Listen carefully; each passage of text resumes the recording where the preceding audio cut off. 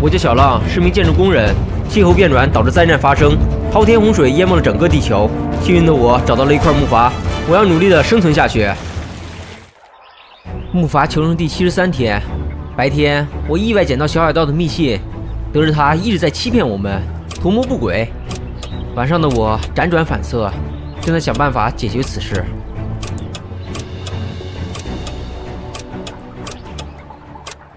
等等，我想到办法了。小海盗心怀不轨，多留他在木筏上待一天，对我和秀妹来说都是威胁，所以我决定偷偷送他走。对，就是送他走。小海盗不仁，但我不能无义。这次我想以和平的方式解决此事，给他建造一个小木筏，让他走。现在已经凌晨三点了，我得赶紧行动起来。先去建造一个小木筏。嘿，嘿，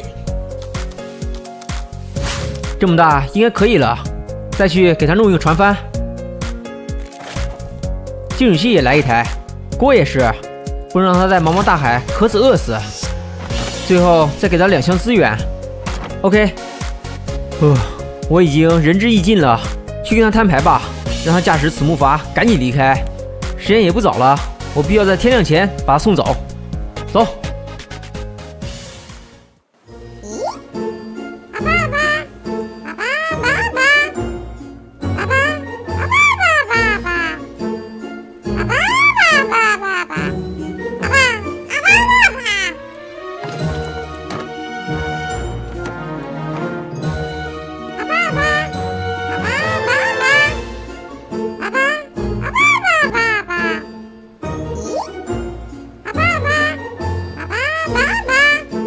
小海盗果然有问题，走，戳穿他！嘿，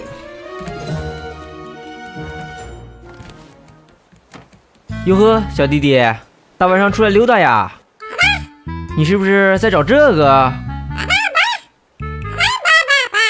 哼，你都没有看我拿出来是什么，你就一直摇头说不是你的，还不承认？这是白天咱俩一起干活从你身上掉下来的，错不了。这是我以前写的，我现在改邪归正了。呵呵，你让我怎么相信你？我怀疑小杨之前的死跟你脱不了关系。这木筏上我是不能留你的，今晚你必须走。装可怜也没有用，刚才不承认，现在承认了，还说是以前写的，来回都是你。哼，木筏船我已经给你准备好了，看你还小，我不想下手，咱们好聚好散。你走吧。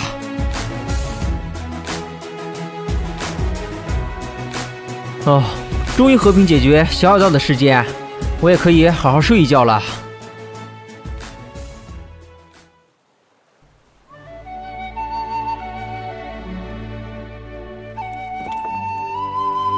哇，一觉睡到自然醒，无忧无虑无烦恼，这生活真爽，嘿嘿。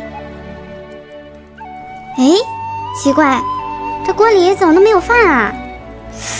我去看看弟弟是不是还在睡懒觉。嗯，没人，去哪儿了？是不是在浪哥那儿？过去看看。也没有。今天是什么日子？浪哥怎么这么贪睡？浪哥起床啦！哎呦，哦，吓我一跳。秀妹子这么早呀？这都已经快中午了，浪哥。对了，我没看见小弟弟，小弟弟去哪儿了？嗯，是这样的，来来来，秀妹子出来，我给你讲。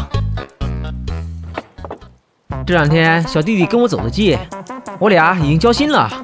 昨晚他和我彻夜长谈，他说他年纪还小，想在这片大海上出去闯荡一番，创造出属于他自己的海上事业。我也觉得他年纪轻轻，确实应该出去历练一番，所以就让他走了。我还给了他启动资源呢。啊，浪哥，这是好事呀。那他为什么都不给我道个别？哎呀，小弟弟知道你对他特好，怕你伤心呀。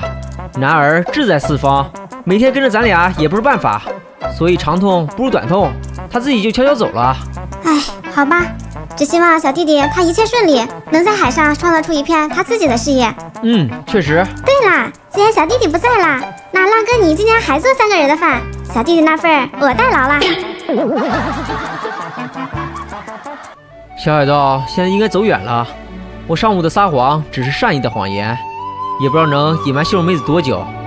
只希望最好是一辈子。浪哥，浪哥，嗯，秀儿妹子，昨天我生产了不少的染料，咱们一起继续粉刷木筏吧。嗯，可以啊。那好，浪哥，我来给你一些染料，我陪你一起干。好嘞。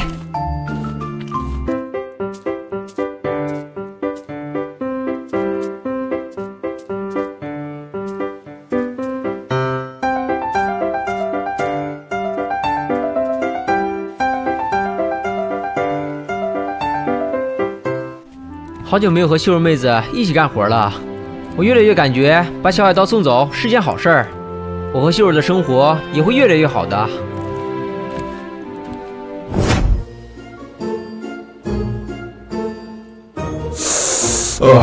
那小子真狠，我脑袋都被打开花了，到现在都没有好。阿鲁阿鲁阿鲁阿鲁阿鲁阿鲁。